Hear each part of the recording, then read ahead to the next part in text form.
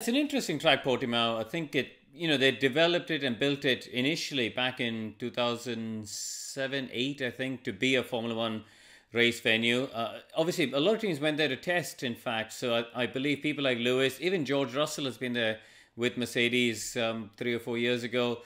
Uh, so I think actually a lot of drivers have raced in junior formula. I think certainly people like Leclerc and Verstappen have been there in Formula Three. So it's it's been a venue that most people have been to for testing, if not for racing. But uh, yeah, first time there in Formula One. I think it'll be it'll be interesting. You know, it's a real roller coaster, very undulating. It's got a lot of uh, blind crests and blind corners. I think the the curbs are quite flat, so we're going to see the uh, the standard issue of track limits coming up for discussion. Unfortunately, um, not a huge deal of overtaking opportunities. There's a there's a couple of you know places where you can have a bit of a lunge, but I think because of the um, you know all of these blind corners and, and the fact that one corner leads to another there's actually multiple lines and, and options that people, drivers can use. So we will we will see the odd error, and, and, I think you know if people make one mistake, it'll lead to the next corner, and the next corner, and the next corner. So I think it will be it'll be one of those races where it'll be quite easy to make a mistake, particularly because the track's quite bumpy as well. The final corner of the track should be comfortably flat out, even in the race with, with high fuel. So actually, you're accelerating all the way from 14 um, and, and, the start finish straight, you sort of go, you go downhill initially, then you climb back. When you come out of 15, you go down, then it comes back up across start finish line, and then again drops quite steeply down before you commit to the first corner. So the first corner is going to be very, very quick. I'd say in terms of radius, it's somewhat reminiscent of, to the first corner at Hockenheim. So nowadays, I think it's a sixth gear, sometimes seventh gear corner, even in qualifying. So very, very quick short, sharp apex. Um, you know, I think that the yeah, if you got DRS and you got the move done on somebody, you're gonna have to make sure you're cleanly in front of them because it's not a big braking zone um, for you to outbrake another driver. But one big factor, Peter, at Portimao is the wind.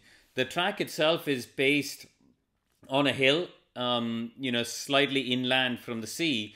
But because it's on the top of the hill, it's quite exposed, and you get a lot of the wind, especially in the afternoon. The wind really picks up, and that makes it um, pretty challenging for the cars in the afternoons around there.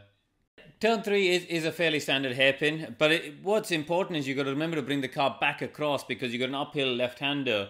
Um, and if you exit too far across on the left-hand side, then then you compromise your exit.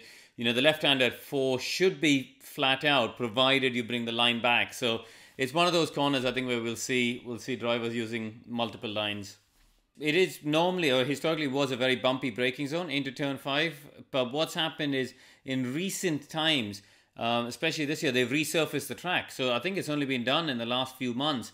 And what uh, I read some comments online. MotoGP went there for a test, and they were talking about how the new surface is very abrasive um, but still actually got some bumps. You know, the riders were all, a lot of them on production bikes, so weren't as stiff as the, the regular MotoGP bikes. But they were already talking about how um, the bumps, you know, they, they could feel it even despite the new surface. So I'll be interested to see how the Grand Prix cars handle that. T- turn 7 and 8 is, um, it's sort of one long braking and turning corner, really. You know, they're, going to be committing into the apex of 7 flat uh, and then braking just as you, you open up the wheel and get the, the nose turned in for, for turn 8. So it's going to be important to just try and take a slightly wider line at 7 to set yourself up and have a little bit less steering lock as you brake in turn for 8. Uh, but it climbs very steeply on the exit of 8. So you always have a bit of exit oversteer because of the way the, the ground um, starts to, to go upwards. So um, it, it's a very tricky corner because I, I think it's also one of the higher points of the track.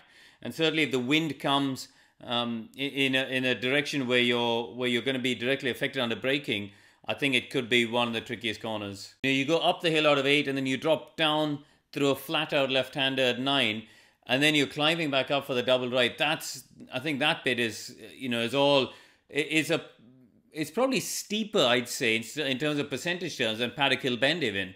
You know, it's really, really steep. Um, some of it reminds me of, um, you know, circuits like Oulton Park, where you got blind apexes. It's it's narrower than you think.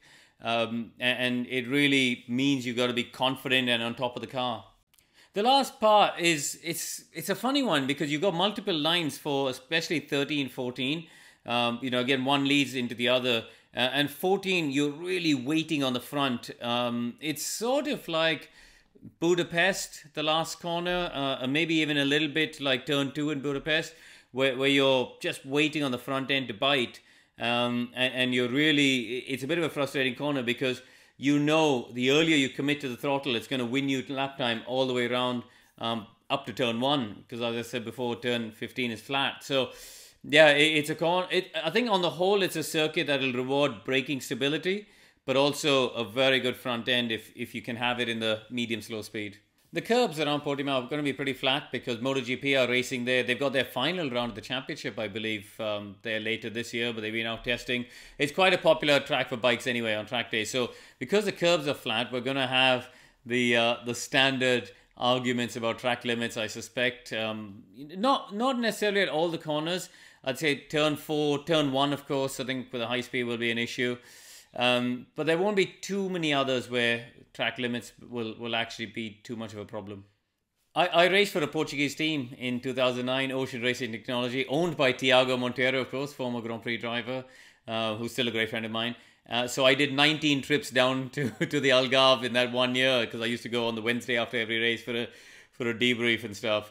Um, it's a lovely part of the world. You know, you can fly into Faro and then I think it was only about 40 odd minutes, 40, 45 minutes to the circuit. Um, and it's a, it's, you know, you've got Portimao, you've got Lagos, you've got uh, Vilamoura. There's some lovely towns along the waterfront. Obviously, with COVID, I, I imagine there's going to be certain restrictions on, you know, where people can go, which is a shame because it is um you know normally it's a it's a lovely part to go to and actually the circuit themselves have got great facilities i think it's the only track i can think of with a swimming pool in the paddock um, but also, uh, the um, there's a 4x4 track. They've got some buggies out there, and it's a really fun 4x4 track. I remember having a go on that uh, a few years ago when I went for a, a, corporate event out there, and it's a fantastic venue. It's got a great track. I think they've hosted the World Championship or the European Championships there as well. A good kart track. So, yeah, all in all, uh, a very cool venue. I heard about you long before we met. You're winsome and you're young, at least that's what they said. Underneath your glitter and your gold.